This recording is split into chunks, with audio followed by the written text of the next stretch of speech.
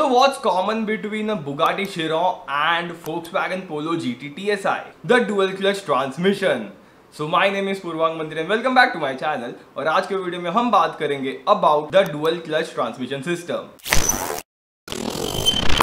DCT यानी कि dual clutch transmission system को हम बहुत केस में DSG भी कहते हैं विच स्टैंड फॉर Direktschaltgetriebe और direct shift gear box DCT और डीएसजी दोनों ही ऑटोमेटिक ट्रांसमिशन सिस्टम के टाइप है और इनमें भी सिंक्रोमेश गियर बॉक्स को यूज़ किया जाता है। But what makes the DCT और DSG transmission system better than synchromesh transmission system is that it gets two clutches यहाँ अल्टरनेट गियर्स को एक एक क्लच दिया जाता है। Like every odd gear will be connected with one clutch while every even gear will be connected with the other clutch and both the clutches are multiplate clutch so yes Sarvesh I was wrong and that sums up the construction of the DCT gear box so अब बात करते हैं about it's working जैसे ही हम first gear select करेंगे synchronizer first gear के साथ कनेक्ट होगा और हाइड्रोलिक प्रेशर की वजह से फ़र्स्ट गियर का क्लच एंगेज होगा. साइमल्टेनियसली सेकेंड गियर भी सिलेक्टेड होगा but it will not power the wheels because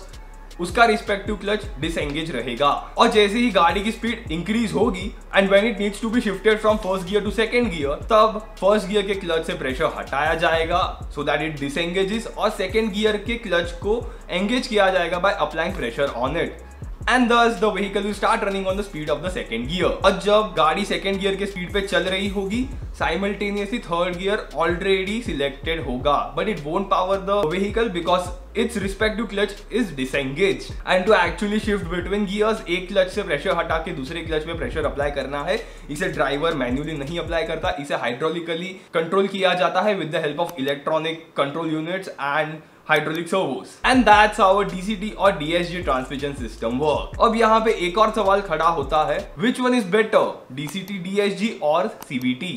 Of course DSG or DCT transmission is better than CVT transmission because CVT में belt और pulley type mechanism use किया जाता है और यहाँ पे बेल्ट या फिर स्टील चेन के स्लिप होने के चांसेस ज़्यादा होते हैं। And because of this efficiency of CVT is just 80 to 85 percent while DCT या फिर डीएसजी गियर बॉक्स में एक्चुअली गियर्स यूज़ किए जाते हैं and because of which their efficiency is more than 90-95%. But is DCT or DSG transmission better than IMT or EMT transmission? Of course it is better than IMT or EMT transmission because of quick and smoother gear shift लेकिन थोड़ा सा maintenance slightly high होगा compare to IMT और EMT other than the transmission system अगर आपको engine के बारे में सीखना है then you should go ahead and check out my book engine in the nutshell it is available in both paperback and e book version and purchasing this book will in turn support my channel so go ahead and check out my book the link to both the version is in the description box below and I suppose मैंने DCT और DSG transmission system के बारे में almost सब कुछ cover कर दिया है। अगर मैंने कुछ मिस आउट कर दिया हो then please let me know in the comment section below